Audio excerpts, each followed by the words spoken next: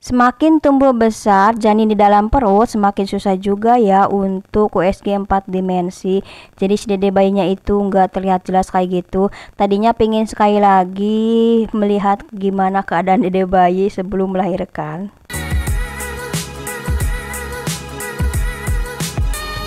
Hai sahabat YouTube, Assalamualaikum. Welcome back to my YouTube channel. Lagi dan lagi aku ke tempat ini.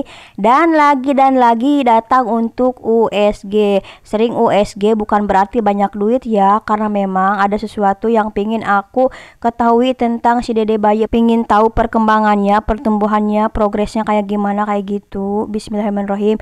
Semoga nggak terjadi sesuatu yang nggak aku inginkan karena pas waktu itu pas USG 4 dimensi si dede bayinya sembunyi nggak terlihat jelas kayak gitu. Jadi kali ini aku mau mencoba lagi. Semoga dede bayinya agak malu-malu lagi untuk ketemu pak dokter dan untuk dipoto kayak gitu. Seperti biasa berada di USG Majalengka yang beralamat di Liang Julangka di Paten nah, ini dia tempatnya. Terus seperti biasa selalu bersih juga.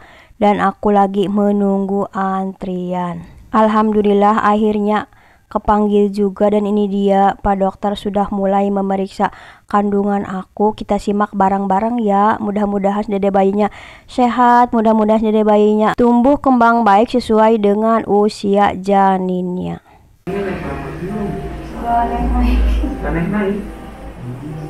Makan banyak makan sedikit bisa mempengaruhi kandungan istirahat ya jadi kemudian masih tiga puluh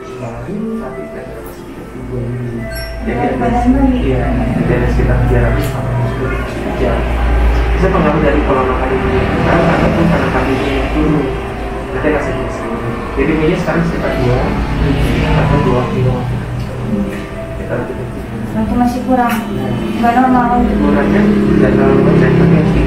ya sekitar dua ratus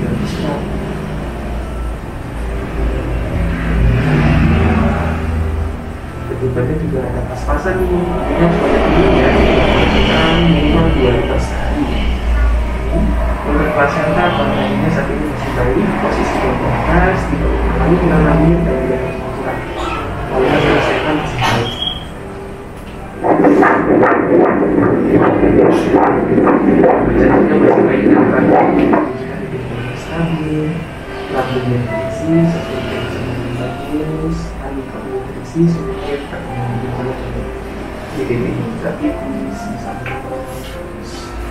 untuk melipan saat ini alhamdulillah melipan jadi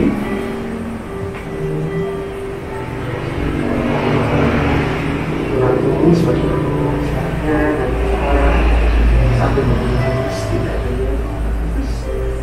untuk menjadinya kayaknya agak sulit sekarang karena ini sudah makanan di masa-masa tidak terangkat itu 什么姑娘迷恋姑娘迷什么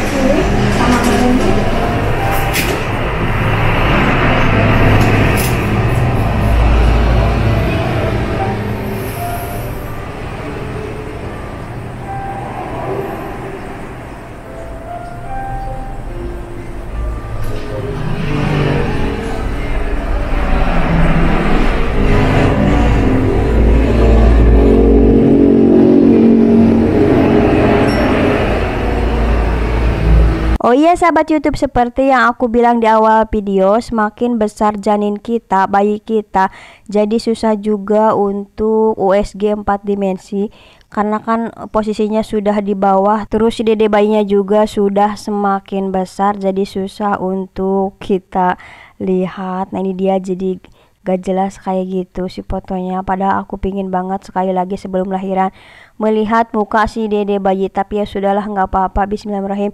Semoga lahirannya lancar dan dipermudah segalanya. Amin. Ya Allah jarabal ya alamin. Tapi ada sesuatu hal yang bikin aku sedih juga di sini.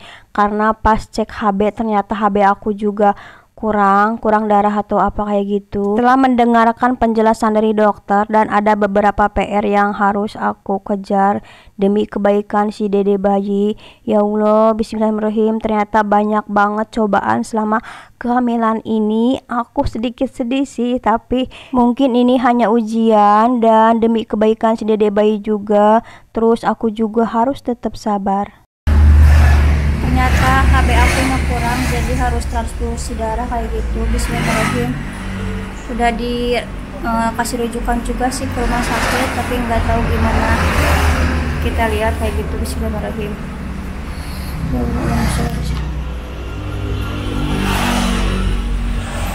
Terus tadi mau empat dimensi juga di bayinya nggak kelihatan. Jadi yang biasa aja